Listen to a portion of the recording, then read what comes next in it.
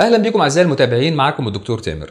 لو أنت دكتور وجالك العيادة مريض وهو مش مريض ضغط في الأساس فجيت تقيس له الضغط لقيت ضغطه مثلا 160 على 95 وأنت طبعا عارف إن إحنا مش بنشخص الضغط من أول قياس.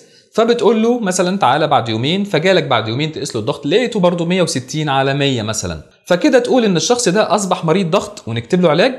فأنا عايز أنبهك لحاجة مهمة جدا اسمها white coat hypertension أو متلازمة البلطو الأبيض أو المعطف الأبيض.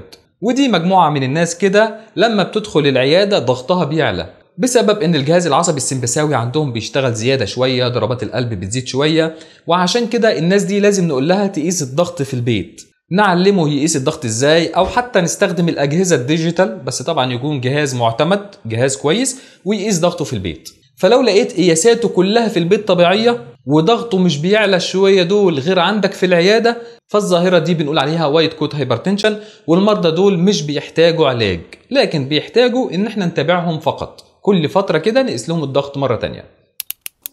كمان في طريقة تانية إن في جهاز ضغط ممكن يقيس الضغط للمريض ده على مدار 24 ساعة. بنركب ال cuff وبنعلق له الشنطة بتاعته وبيفضل معاه طول اليوم. يقيس الضغط بتاع هذا المريض كل نص ساعة أو كل ساعة سواء نايم أو في الشغل أو في أي مكان بيقيس الضغط. ونشوف إحنا القياس الضغط على مدار ال 24 ساعة كان عالي ولا لأ. لكن ده مش متوفر كتير. فالمتوفر إن المريض يقيس الضغط بتاعه في البيت.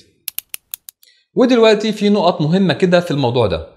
أول نقطة إن المرضى دول صحيح مش بنديهم علاج لكن بنتابعهم لأن المرضى دول يعتبروا مرحلة وسط بين الناس الطبيعيين وبين مرضى ارتفاع الضغط.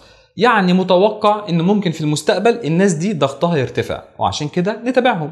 النقطة التانية لو مريض جالك العيادة ولقيت ضغطه 200 على 120 غالبا ده مش ال white coat hypertension.